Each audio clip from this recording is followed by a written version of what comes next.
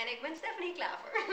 En dit is natuurlijk heel interessant. Maar volgende week staan wij in de hitkamp met een heel groot interview. En dat is echt heel leuk geworden. Denk je?